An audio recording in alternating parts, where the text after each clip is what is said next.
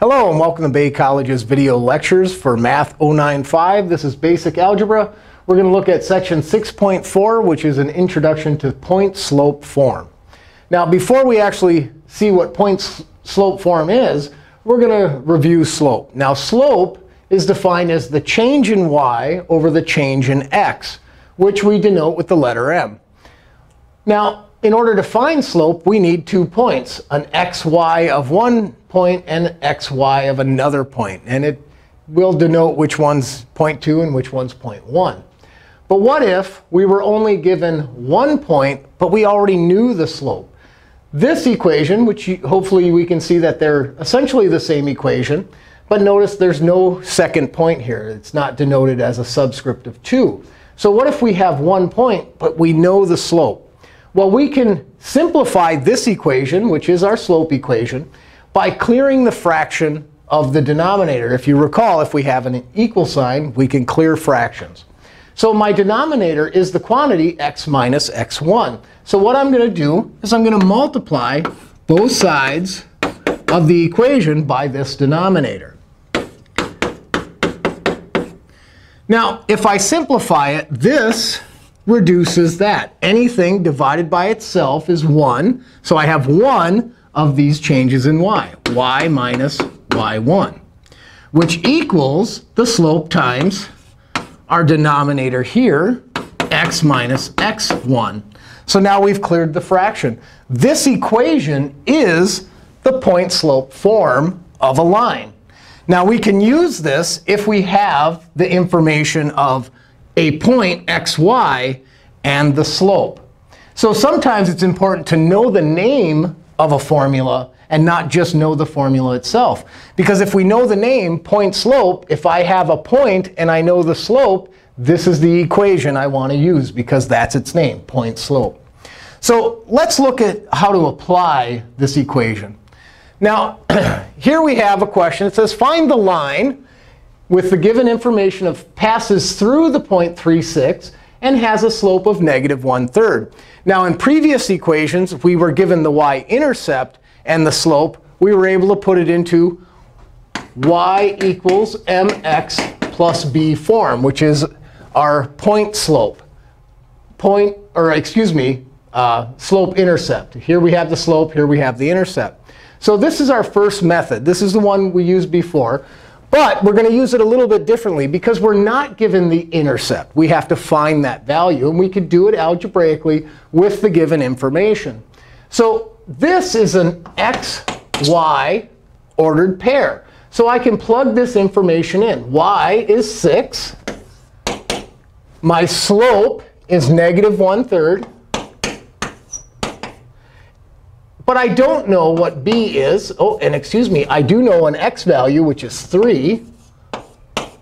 So I just put this value in. x is 3, y is 6. My slope is negative 1 third. But I do not know b. Well, if we look at just by plugging that information in, we only have one variable here, and we can solve for it. So method one is to take the point, take the slope, and plug it into our slope-intercept equation and solve for the intercept.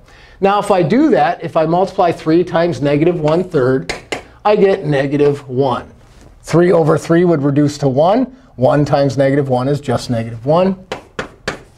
And now I can just isolate b. I can add 1 to both sides. So I get 7 equals, this is 0 plus b is just b. So I found that value. Now I have to reassess and say, OK, what information do I have? Well, I now know the intercept, when x is 0, y is 7. And I know the slope is negative 1 third. So I can put that back into the equation. y equals negative 1 third x plus b, which is 7. mx plus b form. So now it's in this. This is the equation of a line that passes through this point and has a slope of negative 1 third. So if we just review, we plug in the information, we solve for b. Now we reassess the information of slope and b and put it into the equation to have the equation of a line in slope-intercept form. Now method two is using the point-slope equation that we discussed about a little while ago. Well, the point-slope equation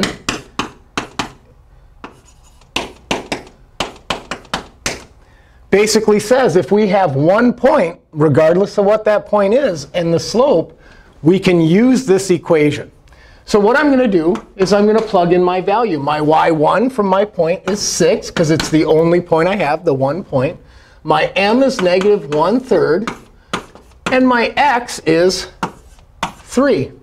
And now, all I have to do is simplify this equation.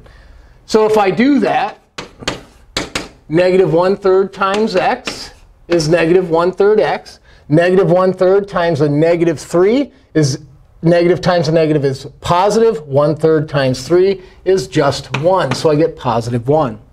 Now, to get y by itself, I just add 6 to both sides. And if we do that, we get y equals, because that goes away, negative 1 third x, 1 and 6 is 7. Now, hopefully, you notice that this method was actually a better flowing method, as I like to look at it. We took the equation because we had a point and the slope, point-slope equation. We have a point and a slope. So we just plug it in and simplify. Our final answer when we're done simplifying is exactly what we were looking for, the equation of a line in slope-intercept. So if we look at this one, we had to plug it in, find a solve for a value, then take that value and plug the slope and the intercept back into the original equation to get it. Here, we plugged in the information given and simplified it to the answer. So point slope can be a very useful tool in uh, when we're given a point and the slope. All right, we're going to uh, define a few other terms that we're going to come across in this section. And the first one is parallel lines. And I have this little symbol here. The symbol shows two lines uh, that don't intersect. And that symbol means the same thing as writing out parallel lines. So it's a little shorthand notation. Now, what is parallel lines? Well, parallel lines actually have the same slope. And that's what this tells me. The slope of one line is the slope of the other line, or the second line. So the slopes are equal. If they have the same slope, but different y-intercepts, if we notice that, they're two separate lines. They're different lines. But they'll never intersect because their rate of increase or decrease is the same, the same slope. So that is the definition of parallel lines. Their slopes are the same. So if you're ever told that one line is parallel to another, if you know one slope, you actually know both of them. The other example that we'll come across is perpendicular lines. Now, perpendicular is a little bit more complex, and this is the symbol for perpendicular. What it means is two lines do intersect at 90 degree angles. So I put this little box in here to indicate that that angle is 90 degrees. They cross each other at 90 degrees. So if we look at that, what does that mean in terms of slope? Well, it means that the slope of one line is equal to the negative reciprocal of the other. Now, what a reciprocal is, a negative reciprocal, means that if we multiply the two slopes together, no matter what they are, if they are reciprocals, negative reciprocal, we'll always get negative 1 if we multiply them together. So what does that exactly mean? Well, let's say we're told we have a line with a slope of, let's say, 1 half. Its perpendicular slope, a slope of another line that would be perpendicular to this, would be the negative. So I change the sign. And reciprocal, well, what's the reciprocal of 1 half? Well, if I flip it, I'd have 2 over 1, which is just 2, negative reciprocal. One more example. What if I had the slope is negative 3 halves. Well, if I'm looking for a slope that's perpendicular to this, I would take the negative. Well, the negative of a negative is positive. Basically, just change the sign. So my perpendicular slope will be positive, opposite sign. And then take its reciprocal, 2 thirds. So negative 3 halves and 2 thirds are negative reciprocals. If I multiply negative 3 halves times 2 thirds, I will get negative 1. A negative times a positive is negative. The 3's would reduce, the 2's would reduce to 1. So I'd get negative 1. All right, let's see how this applies. Uh, we're going to combine both point slope and, uh, or slope and perpendicular and parallel. So if we look at this example, it says through the point 1, 2 and negative 2, negative 4. We want to find each line that follows these different circumstances. So here, well, I'm given two points. What can I do with two points? Well, I know I can find the equation, or the slope, excuse me, by using the slope formula. Two points, I can at least find the slope. So I'm going to do change in y, which is 2 minus a negative 4. So I'm going to use parentheses so I don't make a sign error. And for my x, I have 1 minus a negative 2. And if we look at this, two negatives make that positive. So 2 plus 4 is 6. And 1 minus a negative 2 would be 1 plus 2, which is 3. And 6 divided by 3 is 2. So it has a slope of 2. Now what information do I need? Well, let's think about what I have. If I want to find the equation of a line, I have some points, and I know the slope. Points, slope. Oh, I can use the point-slope equation. So y minus y1, and I'm going to choose whatever point I fancy, and I'm just going to choose this one. y minus the y value equals the slope times x minus the x value. If I choose a point, I have to put it in both locations, x and y. And now I just need to simplify. y minus 2 equals 2 times x, 2 times negative 1. We've got to do that distri distribution. And now I can add 2 to both sides to get y by itself. And when I do that, well, we just happen to get 0. y equals 2x. This is an equation of a line that passes through both of those points. And there's a way to check it. Plug these points in. If x is 1, is 2 times 1 equal to 2? Yes, it is. So that point works. What about this point here?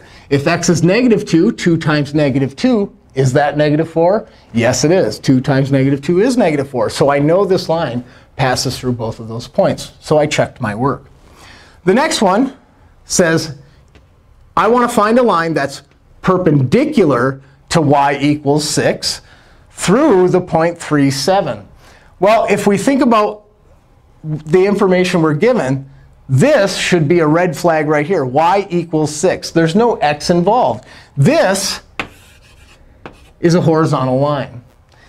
And if we want to find something perpendicular to it, well, something perpendicular to it is going to be a vertical line. Where, if we recall, a vertical line is x equals some number. And we'll use a, x equals a.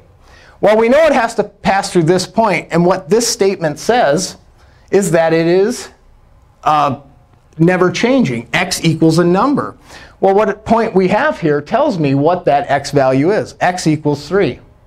So x equals 3 is the equation of a line that is perpendicular to y equals 6, which is, again, a horizontal line, but it passes through the point 3, 7.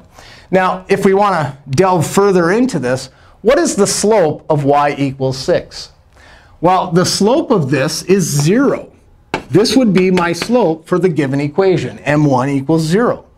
Well, if I take the negative reciprocal of that slope, I'm dividing by 0. That is undefined. The only type of line that has an undefined slope is x equals a number, which is a vertical line. It's going up and down simultaneously. All right, let's look at this one. Here we're asked to find a line that's parallel to the x-axis through the point 2, negative 5. This one's very similar to this one, parallel to the x-axis. Well, let me draw a little Cartesian coordinate graph. This is the x-axis. If it's parallel to it, it has the same slope. The x-axis has a slope of 0. So if something's parallel to it, I'm looking for something that has a slope of 0 same slope is parallel. But it has to pass through the point 2,5. Well, let's think for a moment. I have a point and I have the slope, point slope. If we put this in the point slope, y minus the y value, a negative 5 minus a negative, makes it positive. The slope times x minus the x value. And if we simplify this, well, 0 times anything is 0. So I get y plus 5 equals 0. To get y by itself, I can subtract 5 to get y equals negative 5. Now, if we just assess and think about it some more, the x-axis is a horizontal line. y equals negative 5 is a hor horizontal line. So essentially, it's a value down here. That would be my equation, y equals negative 5, below the x-axis.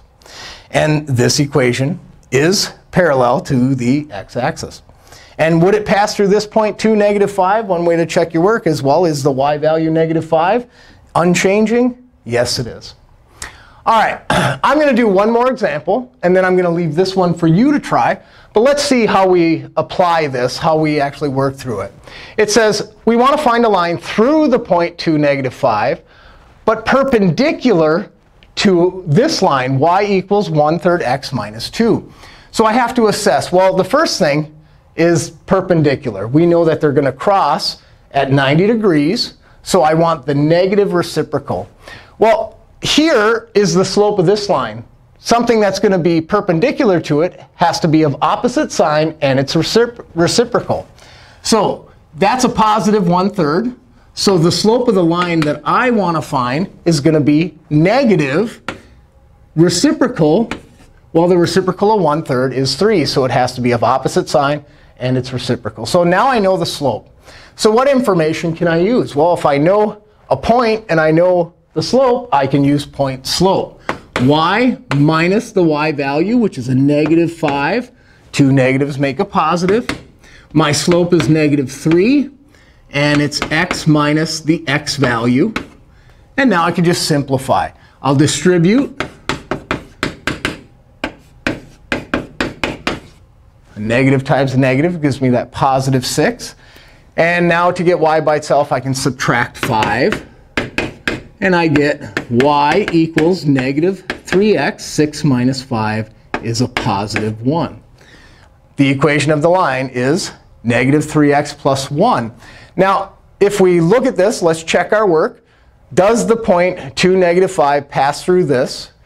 And, or does this pass through 2, negative 5? And is it the negative reciprocal slope? Well, negative 3, we already determined that. And if I plug this value in, uh, if x is 2,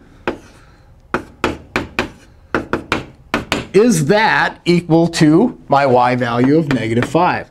Negative 3 times 2 is negative 6. Negative 6 plus 1 is, in fact, negative 5. So this is the equation of the line. And I checked my work, and I know that it's going to be perpendicular to the line I was given. So try this one yourself. It's very similar. The only difference is find the line that's parallel.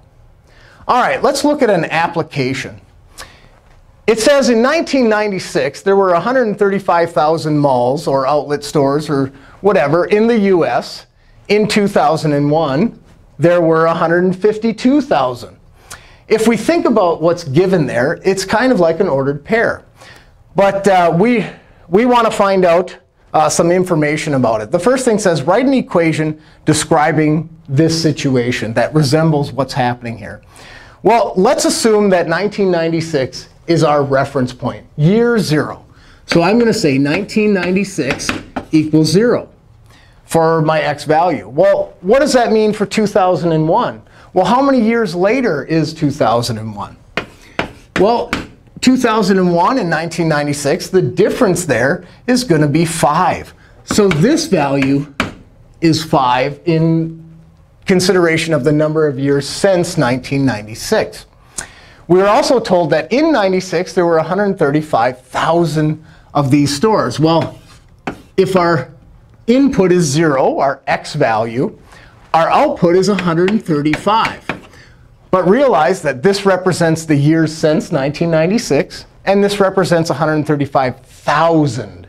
So it has units. All right, and this information given, we're told in 2001, which we're determining is five years since 1996. And there were 152,000 stores. Well, if we think about our interpretation here, we can find the slope or the average rate of change from the number of stores in one year to the number of stores in the next year by finding the slope. If I do that, I can say, OK, let's call this y or xy2 and this xy1, 0.2 and 0.1. So my slope is going to be the change in y over the change in x, which is going to be 5 minus 0. Now, if I simplify that, I get m equals 152 minus 135 is 17. 5 minus 0 is 5. So I have 17 fifths is my slope. So write an equation describing this. Well, let's think about what information I have. I have the slope, and I have some points. So I could use point slope, but I identify this point as a special point because one of my variables, the x in this case, is 0. This is one of my intercepts. And the intercept, when x is 0, is the y-intercept. So I have the slope and the y-intercept. Slope-intercept is the equation of a line I'm looking for. So I can simply just rewrite it. y equals the slope, 17 fifths, times x plus the intercept, which is 135. We wrote an equation that describes the behavior of the number of moles per year. Now, using the equation, predict the number of stores in 2009. Well, let's think about this. If, if we're saying 1996 is our reference, our year zero, since that year, 2009 is how many years later? Well, it's 13. If we took 2009 minus 1996, we'd get 13. So I'm just going to use the equation. And my input is 13 years from 1996. And if I multiply this out, I'm going to get 221 over 5 plus 135. And if I simplify this, I'm going to get 5 uh, goes into 221, 44 and 1 fifth, or 44.2 plus 135. And if I add those two together, I'm going to get 179.2. Can I have 0.2 moles or 0.2 of uh, buildings? No. So I'm just going to round it down, because 0.2 would round down. And I'm going to say there's going to be 179,000 moles. Because units are important when describing an application. How does it actually apply? So we got 179,000 moles. Now, the last part asked me to interpret the slope. And this is sometimes confusing because sometimes the answer is so uh, uh, blatantly obvious we might overlook it, you know, kind of, kind of uh, hiding under our nose, so to speak. Interpret the slope. Essentially what this means is assess the units. Look at the slope, 17 fifths. To interpret the slope, I just introduce the units. Well, 17 represents the thousands of stores because that is my y value. It's the change in y over the change in x. Well, it's the change in the thousands of stores. So I just introduce the unit. 5, well, that's my change in x. Well, my change in x is years. So what does this mean? To interpret the slope, I just have to look at the units. There are 17,000 stores or malls or whatever we want to call them every five years. 17,000 stores every five years. We just interpreted the slope. Just basically write it out in words, 17,000 stores per five years. All right, so this has been 6.4, Introduction to Point Slope Form. Keep practicing, and thank you for watching.